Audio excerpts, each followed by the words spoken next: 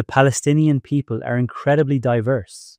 For example, when you go to the northern regions, people typically have higher levels of Anatolian DNA. And when you go to the south towards Egypt, people typically have higher levels of ancient Natufian related ancestry. What's interesting about the Palestinian genome is that they are a combination of the three Stone Age populations that shaped the Levant. A question I always get asked is Are modern Palestinians related to the ancient Philistines?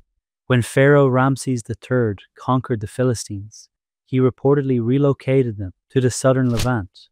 But when we look at Philistine DNA, their closest genetic matches are Italians and Greeks. Interestingly, up to 15% of modern Palestinian DNA is Greek in origin, which may reflect this ancient migration. And here's what fascinates me. Despite waves of empire and conquest, Palestinians still carry the DNA of the region's very first settlers. Want to know which ancient population your face most closely resembles? Order your custom facial ancestry report today.